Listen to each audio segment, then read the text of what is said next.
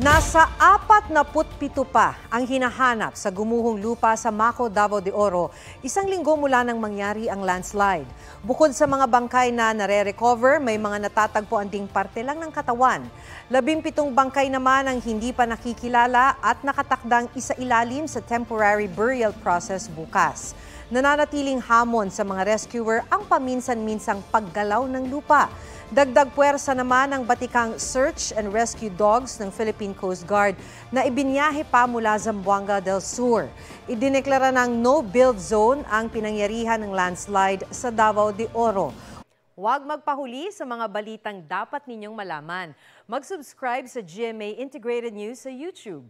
Sa mga kapuso abroad, subaybayan nyo kami sa GMA Pinoy TV at sa www.gmanews.tv.